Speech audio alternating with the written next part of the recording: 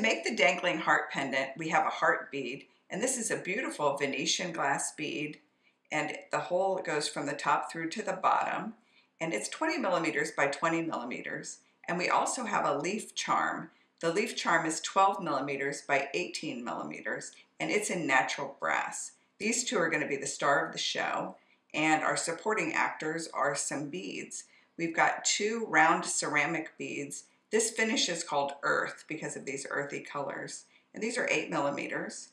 And then we've got two faceted crystals in turquoise. They have a little bit of an AB finish, and those beads are 5 millimeters by 6 millimeters. We also have some bead caps in copper. These bead caps are about 10 millimeters across, kind of a pinwheel design. And then this ring is actually half of a toggle clasp. You can use each half for whatever you want if you don't want to use it as a whole toggle clasp. We sometimes like to steal the ring part because it has the little attacher. That one is about 11 millimeters and it's also in copper. To put the whole thing together, we're actually going to use hemp cord and our hemp cord is about a millimeter thick and we made sure that all of these beads have a hole that will take this size hemp cord. So we just tested it to make sure the hole was big enough. We're going to use about five inches of that and then the only tool we need is scissors.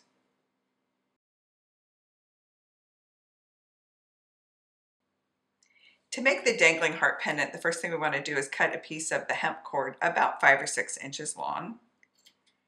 And then we're going to tie it onto our ring that we stole from a toggle clasp. And you could also just use a regular ring and you could tie your hemp right onto the ring, but we like this little extra loop at the bottom. And I'm just going to tie a little overhand knot here where I make a cross and I go around and then feed the end up through. And the hemp cord has a lot of uh, body and texture to it, so when I pull it tight like this, it stays tied. I'm not worried about it coming loose at all.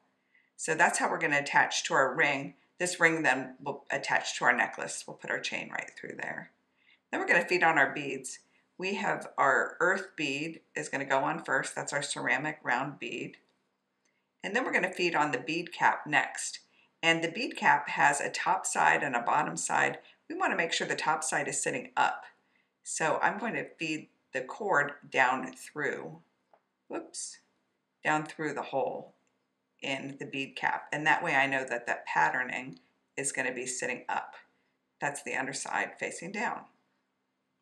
And next I'm going to feed on this pretty faceted bead.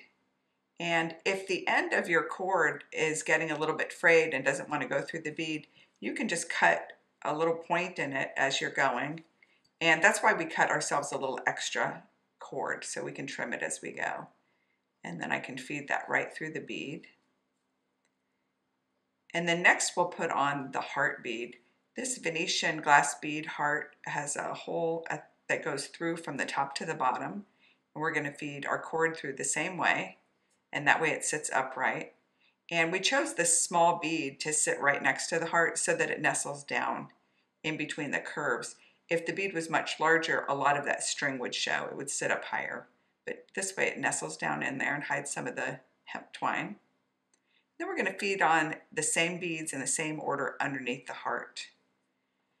And we like that this project doesn't require wire and you don't need tools, you don't need wire cutters or round nose pliers. It's just string. It's just this hemp cord. And really you could do this with any beads you want we just thought this heart bead was so pretty and we started playing around and we thought the copper went well with it.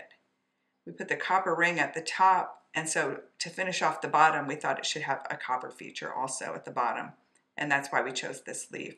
So we're just going to finish it now with this leaf charm at the bottom. I'm going to tie it the same way I did up here. I'm going to tie an overhand knot. So I'm making that loop I'm bringing the tail up through the loop like that. And then I want the knot to sit up next to that bead. So I just want to make sure that I'm sliding it up towards that bead. So I can just move that knot a little bit. Roll it up there towards the bead. And then I want to trim this end of the hemp cord to be about the same length as the piece up here. I'm just going to use the scissors for that. And if it frays a little bit while we wear it, that's great. Because that's the look, for it to be a little bit boho. And that is how we made our dangling heart pendant.